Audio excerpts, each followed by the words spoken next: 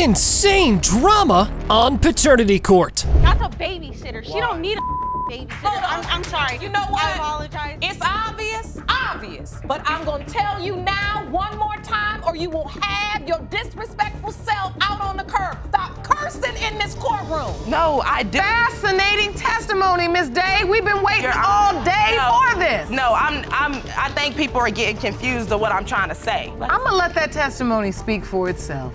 You know why? Because you have another child with her, so you're not gonna clown in here because that's acting a fool, and that's what I don't do. Miss Phillips here has confessed to having a threesome and hooking up with the defendant's friend. Yeah, I know it sounds like a shocker, but still, the mommy was standing blaming the defendant for having doubts and neglecting her daughter. I had to pay him to come over to babysit his You're daughter. I don't even pay her babysitter since he's been gone for the last month. I try to give liar. my What- what friend do you do money. your- what do I do what do for you her? do for I your go daughter? to work every day. And buy what do her you do with your diapers, paycheck? I buy her food. I pay the bills in my house. You You're don't do nothing. Let's get some order in the courtroom. And FYI, this is just the beginning of the drama because now it's time to air the dirty laundry. Turns out, this wasn't the first time that the plaintiff has stepped out on her man, as she has a whole list of her lucky suitors. All you want to go out and do your thing. What I'm saying Oh, is, is I'm oh, wouldn't trying that to be change. what I just said? 18 names listed, quite a list. Out of those 18, two to three of them are my friends that she slept with. However, the mommy claimed that the diary part was just a big misunderstanding, that she was just keeping track of her past dealings, and that she was not the same person anymore.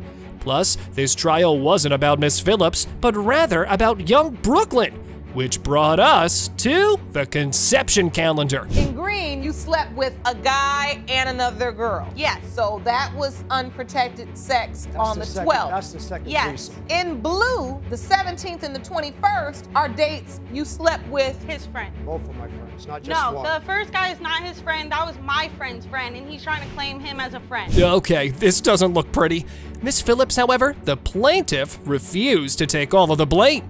In her defense, the alleged father was the one who pushed her into the arms of other men with his insecure behavior. He's a liar. He lied to me about his age when we first got together. He lied about cheating on me. When I was three months pregnant, I let him know that. And then he blew up on me in a gas station, parking lot, telling me, go be with this guy, go give him oral sex, Your go. And I just basically told him my kid doesn't need a dad. Man, this is getting harder with every passing second. Both of the parents had a very odd dynamic, and the person suffering the most was the baby girl.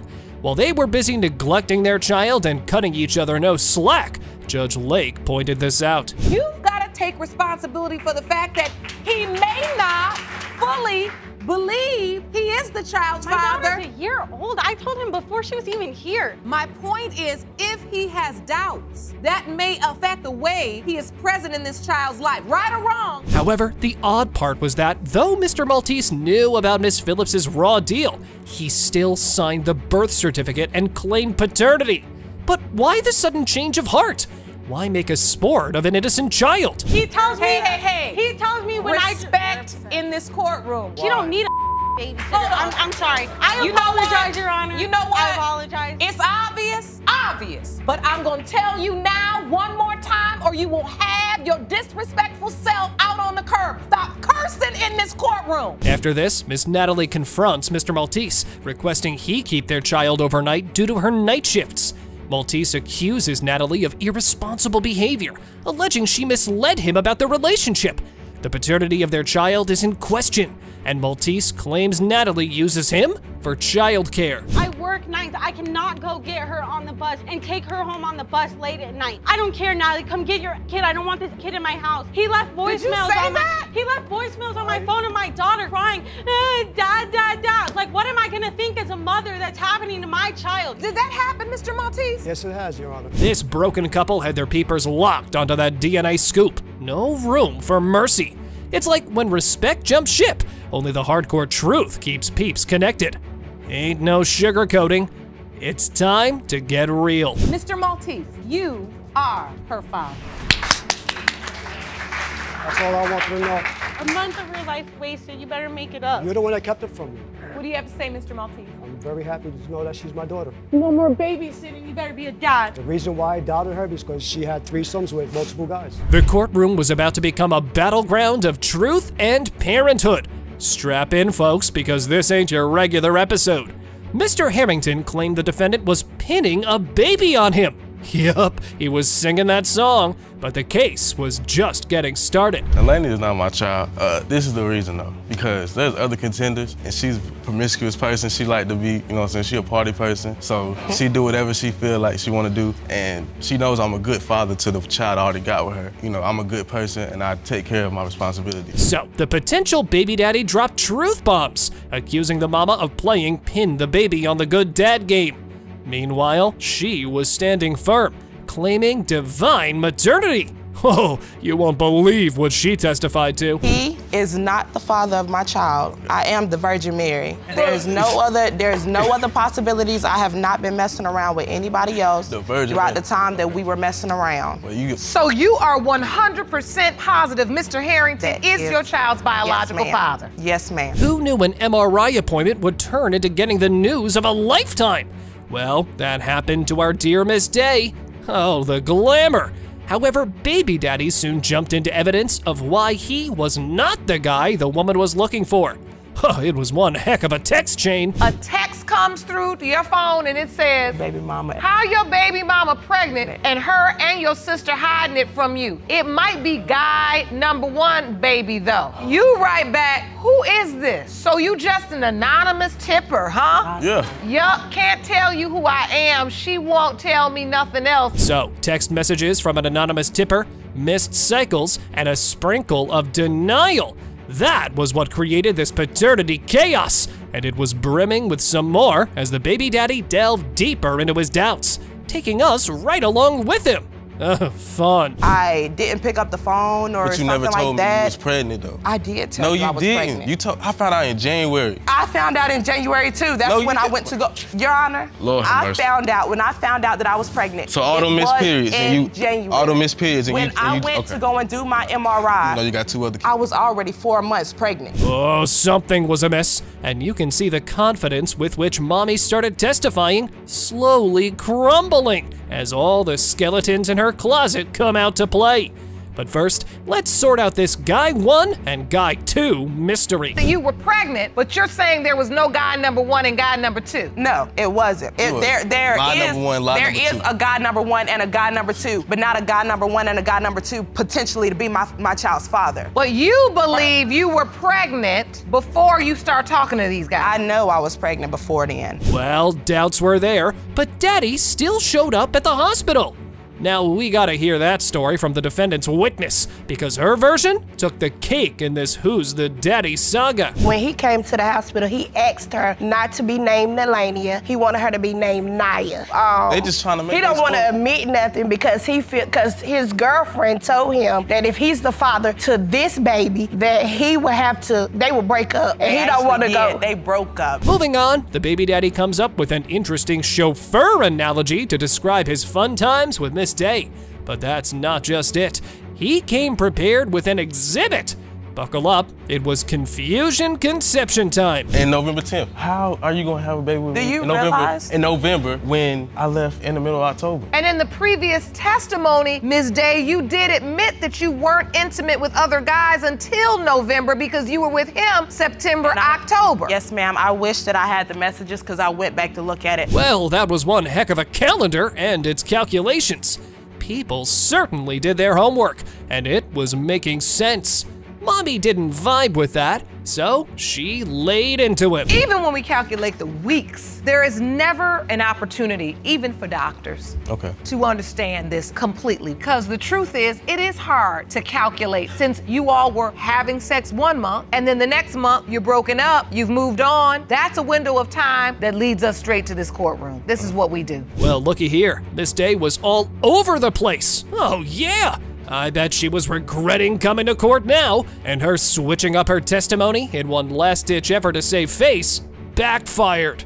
Uh oh. I know that it's only could be uh, only one other person. You don't know. You don't know. No, I do. Fascinating testimony, Miss Day. We've been waiting Your all day No. for this. No, I'm I'm I think people are getting confused of what I'm trying to say. I'm gonna let that testimony speak for itself. Now that all made this last part all the more interesting. Wouldn't you guys agree?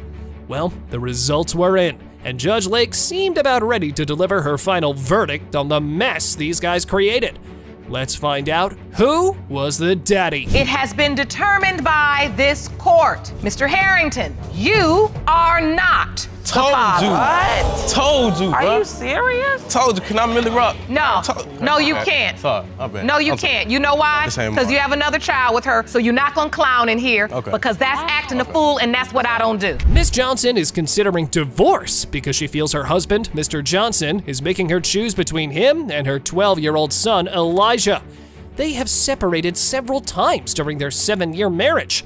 Mrs. Johnson wants the court to mandate family counseling for Mr. Johnson, hoping to save their relationship. I just want my kids to feel equal. I want my oldest son to feel equal. When you say he shows loved. favoritism, explain to the court how. Okay, uh, for an example, I put my kids in baseball. He would participate in our son Ethan's, and he would never participate in Elijah's. That's not that true at all. photo right there was Elijah's birthday, and I took him. I took him to the go kart. However, Mr. Johnson felt that his wife, Mrs. Johnson, does not support his role as a father figure to her son Elijah.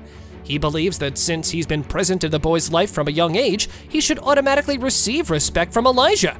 Mrs. Johnson counters by emphasizing that Mr. Johnson should proactively assume a more involved fatherly role. He doesn't take an extra step in, like as far as going to the PTA meetings or. Uh, Did I in the beginning? Yeah, in the beginning, beginning. but things have changed, and lot has they changed. you can't expect different results when you're not willing to He make undermines a change. me at home. He's what is 12, he going to do you're there? 33. Exactly. Discipline your son. Mrs. Johnson read a letter from her son, Elijah, expressing his distress over Mr. Johnson's behavior and his desire for them to separate. Mr. Johnson dismisses the sentiment, attributing it to Elijah's purported disrespect, seeking to understand the depth of the issue. My son refuses to come home when me and Mr. Johnson are together. I have a letter from my son right here. I'll read it. All right. My name is Elijah. I'm 12 years old. I don't want my mom and Jason to be together anymore. I don't like Jason at all. I don't like being around him. I don't ever want to see him again. He hurts my feelings because he does stuff with my brother and don't want to do stuff with me. Mr. Johnson expresses his frustration, stating that Elijah disrespects everyone, including him, his brother, and his mother. He emphasizes the constant arguments over simple tasks and the lack of discipline from Mrs. Johnson.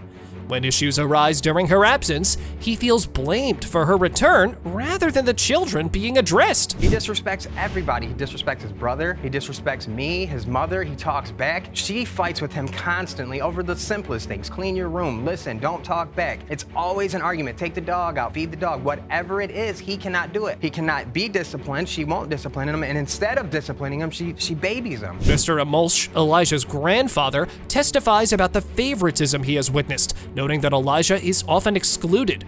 He gives examples of unequal treatment, like getting ice cream and how the children are spoken to. Mr. Johnson challenges Mr. Emulch's perspective, pointing out potential bias given that he's Elijah's grandfather. I see Elijah being left out on a lot of things. Father, son, ice cream. You ask Ethan to pick up your room. It's like, would you pick up your room? What's wrong with you? Why don't? So why aren't we here for the way you talk to. Ethan? You know, talk to him like a human being, not like an animal that did something wrong. Greg brought Mercedes to court because he wants to prove he's the father of her young kid, whereas Mercedes denies this claim. She says the child's father is someone else. Greg says she's doing this because she wants to be with the other man. Wait till you hear who the other man is and what their dynamic is like. Well, Your Honor, I grew up in the streets of Detroit, no dad in my life, and I just want to make sure that my son doesn't have to grow up like I did. And uh, That's to- a beautiful basket there. You brought that for your son once you prove your case? yes, Your Honor. You say you grew up without your father. Yes, ma'am. So it goes something like this Greg met Mercedes because he was dating her roommate. Mercedes was dating Greg's cousin, Maurice. One time, Maurice and Mercedes fought, and she and Greg had sex. Later on, they decided to bring Greg into the relationship to spice things up.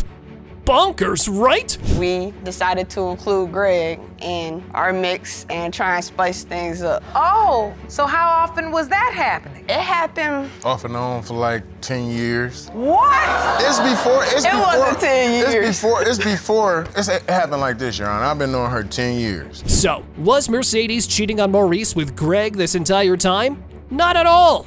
One time, Maurice was at a hotel with another girl, and Mercedes found out when she asked Greg to take her there. After confirming her suspicions, she decided to sleep with Greg and wait till you hear about what happened next. She used to call me and confide in me to like after I hooked them up as friends and stuff, and they got it on, you know, and when they getting have their little disputes or whatever, he be cheating and all that. She called me crying and stuff, and you know I had to go over there and kind of help her cheer up and stuff, you know. Mercedes texted Maurice telling him she was having sex with Greg. He replied that he was going to be there in 15 minutes, and that's when Greg ran away without even putting on his clothes.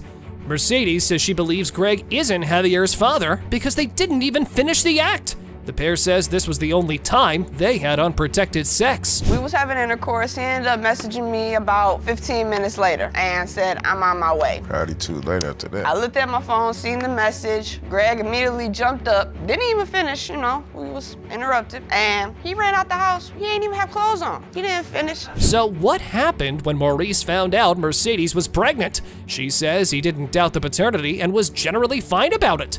Later on, he called Greg and told him the kids were actually his, and Maurice was taking care of them for no reason.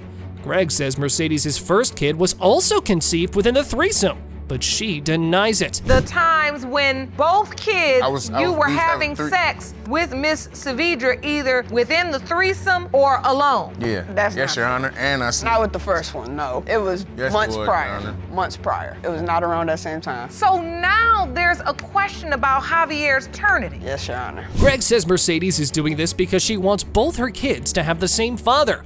However, neither man is on the birth certificates. He says he even called her, and she said there's a chance he could be the father. Mercedes keeps denying all this, while Maurice sends a statement saying he also believes the child is Greg's. Last year, Mercedes and I got into it because she thought I was having sex with another woman, which I wasn't. In retaliation, she had sex with my cousin Greg with no rubber. Shortly after, she comes up pregnant. I found out that they had been having sex behind my back for years. Since the dirty mess has come to light, I don't think her son is mine. He looks like Greg. Greg produced photos that show Javier resembling Greg and not Maurice. He even brought a basket with stuff a baby needs as a gesture of goodwill in case he is proven to be the father. He says he isn't worried about Mercedes being his cousin's girlfriend as he slept with her first. So, will the DNA test solve this mess? It has been determined by this court. Mr. Pitchford Kendricks, you are not the father. I can see that that really disappointed you. You thought you were. You know, I tried to step up to the plate because I ain't have a father.